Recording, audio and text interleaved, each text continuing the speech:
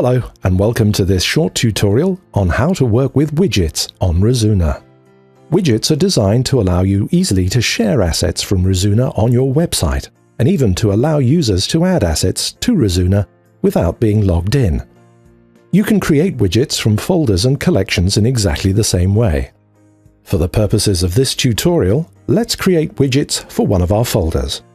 We'll choose My Folder in the folder list to the left.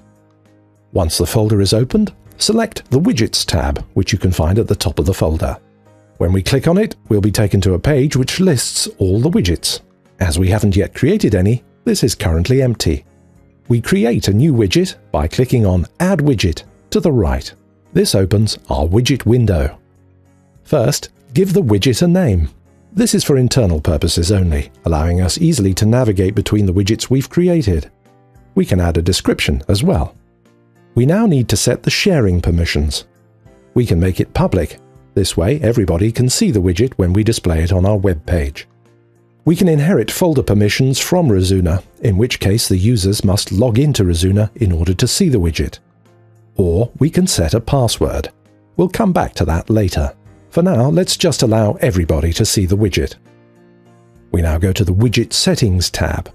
First, decide whether you want users to see thumbnails or a slideshow. The slideshow will display the folder contents one by one as larger images, whereas thumbnails will allow the user quickly to see all assets. In this case, let's choose thumbnails. We then need to decide whether we want the users to be able to download the original assets. This is useful if we have, for example, Photoshop documents and only want the users to see the renditions. For now, let's allow downloading of assets. After selecting the option, you need to click on the Reset Settings on Individual Assets to apply the change, as the sharing of originals is disabled by default in Razuna. We can now decide whether we want our users to be able to upload assets. This can be useful if you want users on your website to be able to upload, for example, images to Razuna. For now, we'll leave this turned off, so they can't upload.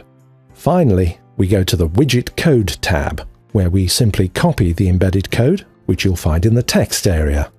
You can then paste this small piece of HTML code into your web page. In this example, let's jump to our WordPress blog where we can enter the code into a simple blog post. Give the post a name. Now paste the code copied from the Razuna widget into the contents area, making sure that we're in HTML mode. Now let's save the draft and take a look at the page. As you'll notice, we now see the Razuna widget completely embedded in the existing layout on the blog. If we click on an asset, a small window opens where we can select which versions to download.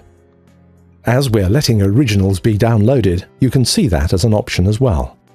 Now let's go back to Razuna and change the widget settings. We'll now add a password to the widget. This will make the widget visible only after the user has entered the correct password, which we set here. Click Update and jump back to our blog.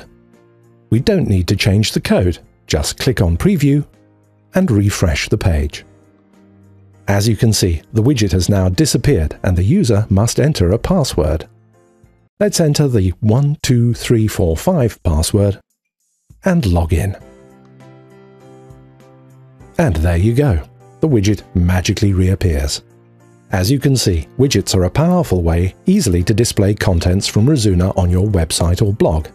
There's no coding involved, just a bit of copying and pasting. Back on the Widgets tab, you'll now see the widget we just created in the list below. Here's how to enable uploading for all users. Go back to the widget. On the Settings tab, we remove access to the original by selecting No and resetting the settings on individual assets. As a last option, we now allow the user to upload via the widget on our website. Now let's go back to our blog to see what's happened. Again, no need to change the code, just click Preview and refresh the page. As you can see, the Add Assets button is now visible and if we click on it, we'll be taken to the Razuna upload window, where we can add assets from our hard drive. If we click on Download Assets, you'll notice that we can no longer download all the originals. all you can do is download renditions of the asset. As mentioned earlier, you can create widgets for collections the same way as you do folders.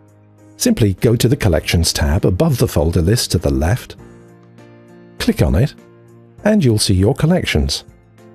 Choose which collection and where you want to add your widget. At the top, you'll see the Widgets tab.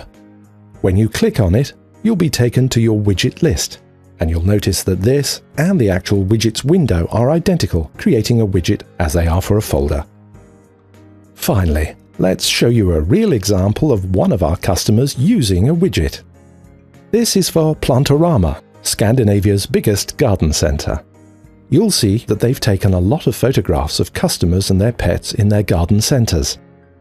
These photographs have been uploaded by the photographer to this folder on Razuna.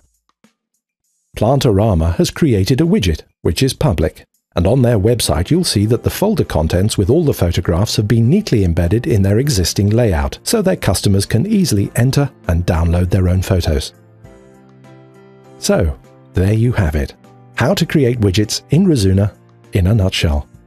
We hope you've enjoyed this short tutorial, and thank you once again for using Razuna.